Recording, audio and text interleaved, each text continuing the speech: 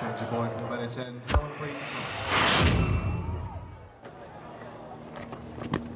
Take them off. What a lovely piece of bowling. Flighted, full of mystique. And the keeper all the, just had to take the stumps. Unfortunately, batter was way out of her ground.